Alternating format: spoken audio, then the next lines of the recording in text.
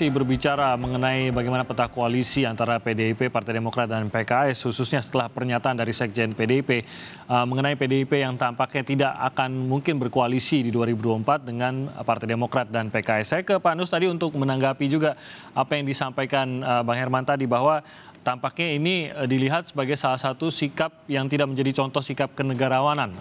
Pak Nus tanggapannya bagaimana? Uh, tidak tidak begitu juga karena tentu eh, Mas Hasto juga eh, akan menanti bentuk koalisi di tempat yang lain. Hmm. Karena Pak Hudori kan belum memunculkan selalu yang jadi topik di tempatnya kami. Nah, jadi kalau menurut surveinya Pak Hudori itu kan ada nama-nama yang lain Hmm. Dan itu kan juga mohon maaf bagi PDI Perjuangan eh, agak lebih leluasa untuk 2024 karena bisa mengusung sendiri. Hmm. Maka tentu sebetulnya kalau bicara koalisi, ya Pak Kudori sama media tentunya tidak usah mengejar-ngejar kita untuk bagaimana koalisinya jadi nanti tentu akan akan terbentuk juga secara dinamis selama tiga hmm. tahun yang akan datang. Calon tentunya uh, yang dimunculkan di publik begitu tidak satu, tidak dua, bahkan banyak begitu. Yang hmm. tentu kami persilahkan untuk partai yang lain juga membangun demokrasi ini dengan sistem yang begitu panjang. Hmm. Jadi maksudnya tadi Pak Khairon masih panjang itu sebetulnya juga karena kan bukan besok pagi mau pertandingannya ini kan. Jadi ya. koalisinya pun bukan kan, kan berkembang dinamis yang nanti akan terbentuk sebuah uh, peta koalisi sendiri. Tidak mungkin tidak pasti akan muncul juga yang yang lain kan begitu.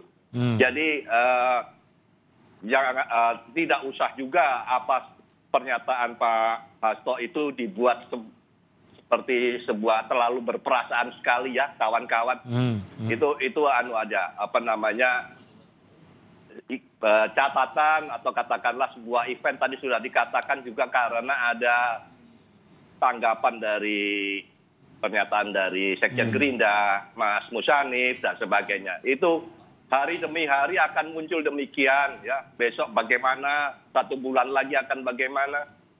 Ya, maka okay pernyataan saya bahwa itu itu tidak menjadi menjadi catatan kami iya apa yang disampaikan oleh Pak Hasto tidak salah itu betul okay. itu nah, bisa dipahami saya katakan bisa dipahami oleh seluruh warga di PDI Perjuangan oke okay. nah uh, mungkin uh, bagaimana kalau begitu uh, Pak Nus kita bisa melihat uh, positifnya dari pernyataan uh, Pak Hasto ini dalam arti tadi Pak Nus bilang bahwa kalau di dalam PDIP pasti memahami lah apa yang dikatakan Pak Hasto. Tapi sekali lagi pasti setiap partai juga ingin memberikan uh, sesuatu yang positif, sesuatu yang lebih baik, pilihan politik yang lebih baik juga bagi masyarakat khususnya kepada pemilihnya. Bagaimana melihat hal ini secara positif dari sudut tersebut? Persis. Dan itulah yang saya harapkan. Tentu partai yang lain pun juga akan uh, siap untuk memunculkan calon kan itu haknya ya.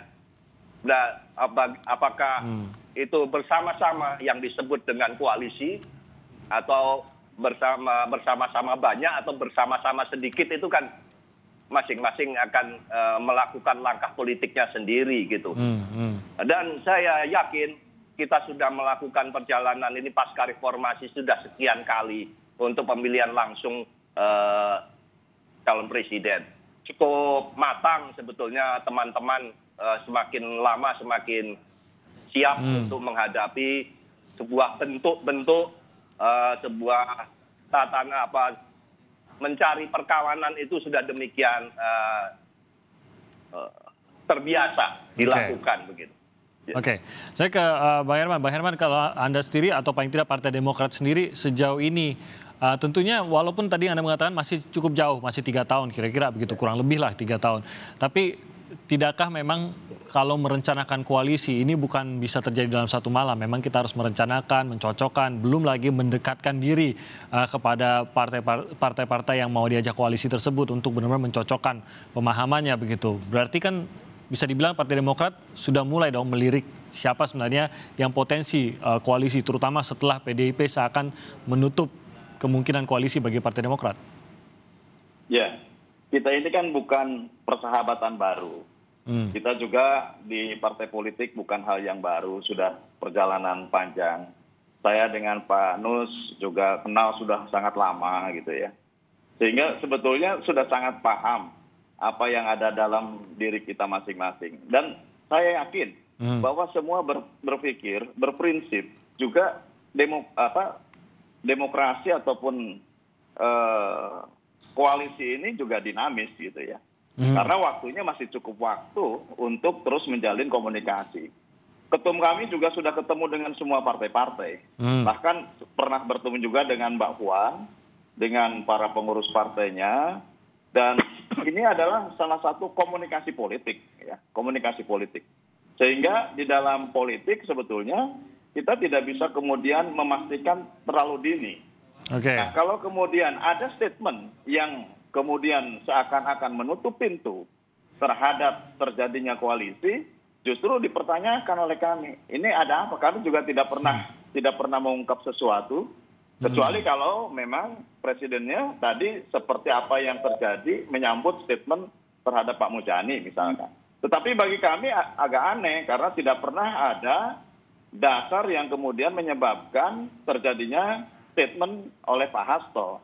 Nah, oleh hmm. karenanya kami mempertanyakan apakah ini statementnya pribadi atau statementnya partai. Hmm. Nah yang kedua tentu politik itu dinamis dan kalau politik itu dinamis banyak kemungkinan-kemungkinan yang akan terjadi dan komunikasi politik ini terus kita jalin. Oke. Okay. Dan yang terpenting karena pemilu itu masih jauh, tentu koalisi harus dijajaki. Tentu juga eh, melihat survei melihat kapasitas dan melihat hmm. kapabilitas seorang calon di masa depan ini penting. Jadi kami menganggap penting ya Pak Kodari, kami menganggap penting survei itu. Nah, okay. yang lebih penting lagi sebetulnya Mas Timoti, bukan kami tidak ingin kemudian meruncingkan bahwa sangat penting untuk melakukan koalisi, koalisi saat ini. Penjajakan memang penting, tetapi yang terpenting hmm. adalah bagaimana partai-partai fraksi-fraksi yang ada di DPR bekerja untuk rakyat saat ini. Okay. Pandemi COVID belum selesai, dampaknya masih masih terjadi. Okay. Oleh karenanya kita jangan berbicara dulu membangun friksi politik. Lebih baik justru bekerja dulu sambil kita melakukan penjajakan. Pada akhirnya nanti kita akan ketemu di suatu saat kita berkoalisi hmm. dan membangun koalisi, kemudian siapa yang akan kita dorong menjadi baik. presiden dan wakil presiden. Oke, baik. Sebelum saya ke Mas Kodari uh, untuk uh, mungkin merangkum apa yang sudah dinyatakan Pak Anus dan juga Bang Herman tadi, kita sejenak saja kita akan melihat apa yang berlangsung pada saat ini dari Pejambon, dari Gedung Pancasila uh, terkait dengan peringatan Hari Lahir Pancasila. Saat ini memang uh, upacara peringatan Hari Lahir Pancasila ini terpusat di Gedung Pancasila di Pejambon uh, sementara Presiden Jokowi juga dijadwalkan menjadi inspektur upacara. Kita Satu. ikuti. Ketuhanan yang Maha Esa. Dua, kemanusiaan yang adil dan beradab. Tiga, persatuan Indonesia. Empat, kerakyatan yang dipimpin oleh hikmat, kebijaksanaan dalam persyaratan perwakilan. Lima, keadilan sosial bagi seluruh rakyat Indonesia.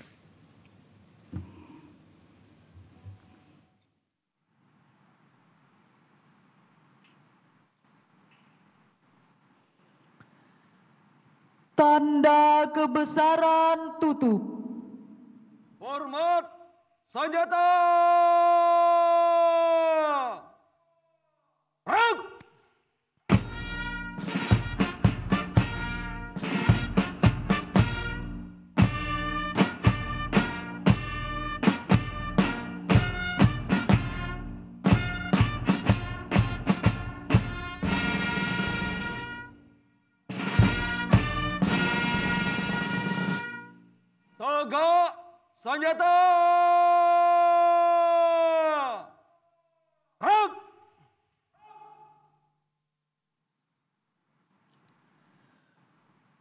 Pembacaan pembukaan Undang-Undang Dasar Negara Republik Indonesia tahun 1945 oleh Ketua Dewan Perwakilan Rakyat Republik Indonesia.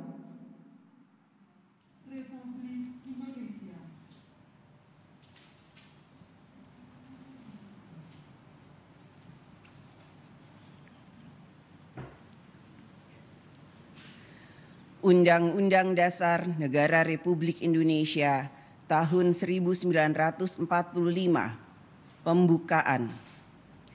Bahwa sesungguhnya kemerdekaan itu ialah hak segala bangsa dan oleh sebab itu maka penjajahan di atas dunia harus dihapuskan karena tidak sesuai dengan pri kemanusiaan dan pri keadilan dan perjuangan pergerakan kemerdekaan Indonesia telah sampailah kepada saat yang berbahagia dengan selamat sentosa mengantarkan rakyat Indonesia ke depan pintu gerbang kemerdekaan negara Indonesia yang merdeka, bersatu, berdaulat, adil dan makmur. Atas berkat rahmat Allah yang Maha Kuasa dan dengan didorongkan oleh keinginan luhur supaya berkehidupan kebangsaan yang bebas, maka rakyat Indonesia menyatakan dengan ini kemerdekaannya. Kemudian daripada itu, untuk membentuk suatu pemerintah negara Indonesia yang melindungi segenap bangsa Indonesia dan seluruh tumpah darah Indonesia dan untuk memajukan kesejahteraan umum, mencerdaskan kehidupan bangsa, dan ikut melaksanakan ketertiban dunia yang berdasarkan kemerdekaan, perdamaian abadi, dan keadilan sosial. Maka disusunlah kemerdekaan kebangsaan Indonesia itu dalam suatu undang-undang dasar negara Indonesia yang terbentuk dalam suatu susunan negara Republik Indonesia yang berkedaulatan rakyat dengan berdasar kepada ketuhanan yang Maha Esa, kemanusiaan yang adil dan berhadap, persatuan Indonesia, dan kerakyatan yang dipimpin oleh hikmat kebijaksanaan dalam permusyawaratan perwakilan, serta dengan mewujudkan suatu keadilan sosial bagi seluruh rakyat Indonesia.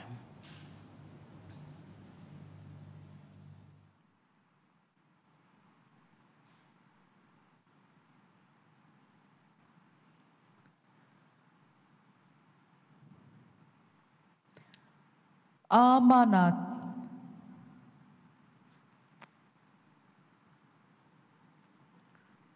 Pasukan diistirahatkan.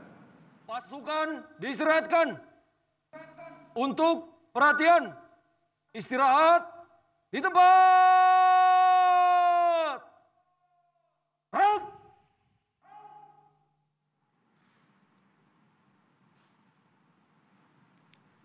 Bismillahirrahmanirrahim. Assalamualaikum warahmatullahi wabarakatuh. Selamat pagi, salam sejahtera bagi kita semuanya. Om Swastiastu, Namo Buddhaya, salam kebajikan. Yang saya hormati Wakil Presiden Republik Indonesia, Bapak Profesor Kiai Haji Ma'ruf Amin.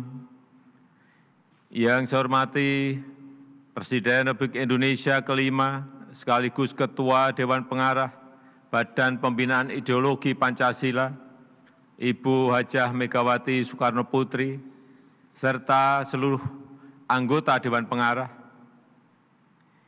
Yang saya hormati Wakil Presiden Republik Indonesia ke-6, Bapak Tri Sutresno.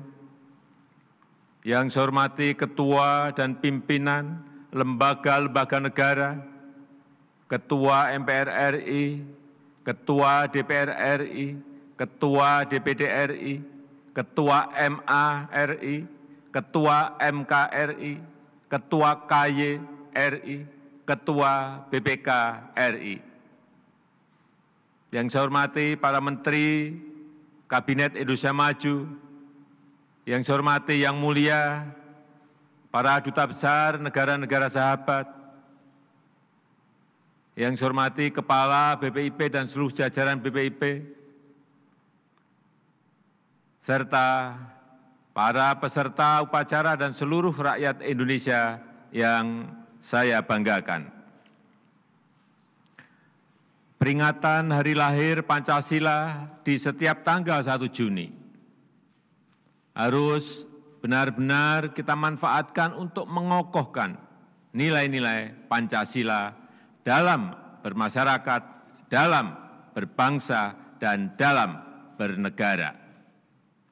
Walaupun Pancasila telah menyatu dalam kehidupan kita sepanjang Republik Indonesia ini berdiri, namun tantangan yang dihadapi Pancasila tidaklah semakin ringan. Globalisasi dan interaksi antar belahan dunia tidak serta-merta meningkatkan kesamaan pandangan dan kebersamaan. Yang harus kita waspadai adalah meningkatnya rivalitas dan kompetisi, termasuk rivalitas antar pandangan, rivalitas antar nilai-nilai, dan rivalitas antar ideologi. Ideologi transnasional cenderung semakin meningkat, memasuki berbagai lini kehidupan masyarakat dengan berbagai cara dan berbagai strategi. Perkembangan ilmu pengetahuan dan teknologi juga mempengaruhi lanskap kontestasi ideologi. Revolusi industri 4.0 telah menyediakan berbagai kemudahan dalam berdialog, dalam berinteraksi, dan berorganisasi dalam skala besar lintas negara. Ketika konektivitas 5G melanda dunia, maka interaksi antar dunia juga akan semakin mudah dan cepat. Kemudahan ini bisa digunakan oleh ideolog-ideolog transnasional radikal untuk merambah ke seluruh pelosok Indonesia, ke seluruh kalangan, dan ke seluruh usia, tidak mengenal lokasi dan waktu. Kecepatan ekspansi ideologi transnasional radikal bisa melampaui standar normal ketika memanfaatkan disrupsi teknologi ini. Saudara-saudara sebangsa dan setanah air, menghadapi semua ini, perluasan dan pendalaman nilai-nilai Pancasila tidak bisa dilakukan dengan cara-cara biasa. Diperlukan cara-cara baru yang luar biasa, memanfaatkan perkembangan ilmu pengetahuan dan teknologi terutama revolusi industri 4.0.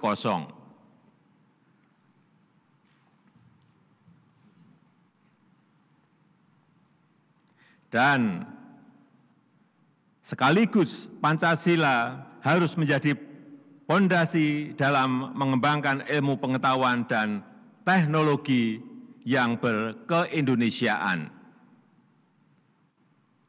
Saya mengajak seluruh aparat pemerintahan, tokoh agama, tokoh masyarakat, para pendidik, kaum profesional, generasi muda Indonesia, dan seluruh rakyat Indonesia untuk bersatu padu dan bergerak aktif memperkokoh nilai-nilai Pancasila dalam mewujudkan Indonesia maju yang kita cita-citakan.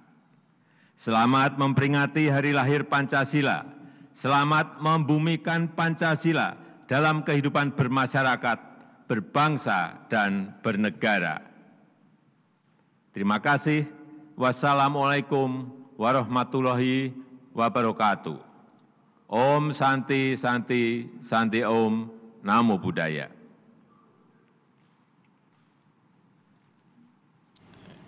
Itu tadi amanat dari Inspektur Upacara Presiden Republik Indonesia Joko Widodo yang menyampaikan amanat di hari atau di upacara peringatan Hari Lahir Pancasila yang digelar di Gedung Pancasila di Pejambon di Kompleks Kementerian Luar Negeri di Jakarta.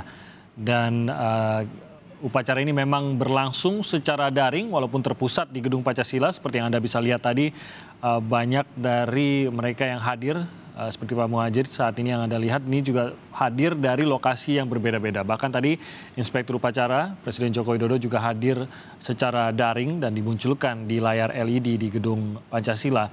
Uh, dan ada sejumlah juga tokoh-tokoh yang juga hadir secara daring. Wakil Presiden juga tadi kita lihat hadir secara daring dan juga tadi ada Megawati Soekarno Putri juga hadir secara daring. Bahkan tadi Ketua MPR maupun Ketua DPR juga membacakan pasal uh, pasal Pancasila maupun pembukaan uh, Undang-Undang Dasar 45 juga secara daring tadi bukan berada di lokasi. Jadi upacara terpusat di Gedung Pancasila, namun uh, pihak-pihak uh, yang menghadiri upacara tersebut hadir seluruhnya secara daring. Saya kembali ke perbincangan kita pada pagi hari ini. Terima kasih Pak Herman, Pak Nus sudah menunggu. Uh, tadi kita mengikuti sebentar bagaimana upacara uh, Hari Lahir Pancasila yang berlangsung di Gedung Pancasila. Mas Kodari, terima kasih juga sudah menunggu. Jadi mungkin uh, dengan keterbatasan waktu saya berikan kepada Mas Kodari. Kita bergabung lagi dengan uh, Pak Nus, dengan Pak Herman dan juga uh, Mas Kodari tadi membicarakan mengenai bagaimana sebenarnya peta koalisi uh, terutama terkait dengan apa yang sudah dinyatakan oleh PDI Perjuangan yang menjadi pemahaman kalau tadi dikatakan di dalam internal PDI Perjuangan memang ada akan sulit untuk berkoalisi di 2024. Sekali lagi terima kasih Pak Nus, uh, Pak Herman sudah menunggu, Mas Kudari juga. Mas Kudari mungkin dari Anda uh, kalau begitu PDI Perjuangan tampaknya dengan uh, dengan Gerindra ini sudah cukup akrab begitu walaupun sekali lagi bagaimana koalisi pastinya baru kita bisa nantikan mungkin menjelang nanti 2024. Uh, lalu bagaimana dengan yang Anda lihat bagi Partai Demokrat? Apa yang bisa menjadi target bagi Partai Demokrat? Kalau saya tanya ke Pak Herman, pasti Pak Herman bilang masih akan ada rapat-rapat panjang menjelang 2024, jadi belum bisa memberikan jawaban. Tapi kita mencoba membaca. Ini Mas Kodari sudah mendengar suara saya belum nih Mas Kodari? Oke, masih terputus ternyata uh, Mas Kodari. Kalau gitu saya ke Mas Herman. Kalau Mas Herman setelah ditutup uh, pintunya ini, uh, tapi tampaknya memang Partai Demokrat uh, tentu saja ingin memberikan yang terbaik di 2024. Uh, yang terdekat dengan Partai Demokrat yang bisa dikatakan saat ini, walaupun belum berbentuk koalisi, dengan partai mana sebenarnya Partai Demokrat melihat ada banyak kemiripan yang bisa menjadi uh, titik untuk apa uh, persahabatan lah bisa dibilang persahabatan politik menuju 2024 pada saat ini? Ya tadi saya katakan bahwa Partai Demokrat saat ini masih fokus untuk membantu rakyat hmm. karena uh, proses untuk menuju kepada pileg pilpres tentu masih panjang. Hmm. Namun ya tentu silaturahmi politik ya komunikasi politik ya terus dijamin dijalin dengan seluruh partai-partai yang ada.